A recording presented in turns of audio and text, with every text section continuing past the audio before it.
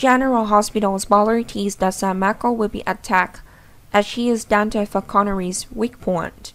Viewers recall that Dante was investigating the case of mysterious PC attacker.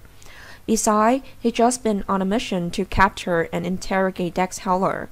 This could also be the plan of the mysterious attacker. Maybe Dex would be the culprit, and it's also possible that the mysterious assailant is trying to put the blame on Dex by killing people near Dex. Sam has a hunch that she and her baby are in danger.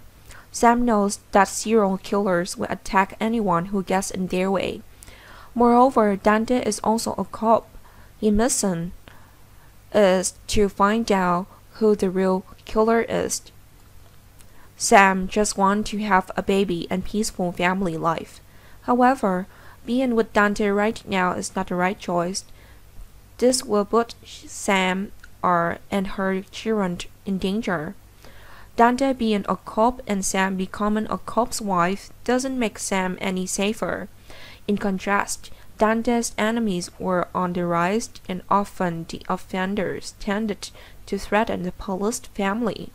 This is similar to Jordan Ashford being threatened by Cyrus Renault. At that point, if Jordan hadn't obeyed Cyrus' orders, TJ Ashford would have died. Back to present. After the third attack took place, Dante insists Dex is the culprit behind these massacres. However, he still hasn't figured out why Dex attacked Avatron. The GS screenwriter will not let the plot unfold in such a boring way. Moreover, revealing the killer's identity to fans will not be easy. All will be unknown. This will stimulate the viewer's judgment. Moreover, the situation will be increasingly pushed to the climax.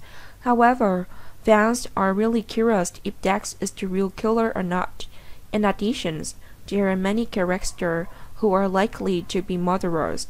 All of the theories given are very reasonable, or just one person is the killer. There can be many people simulating the same way of killing, and they all have their own goals.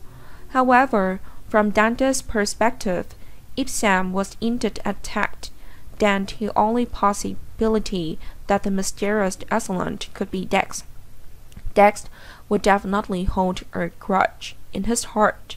He thinks it's not right for Dante to suspect him or to prevent future harm. Sam's death could be Dex's warning to Dante. Dante needs to do something before things go too far. He needs to protect Sam and her children.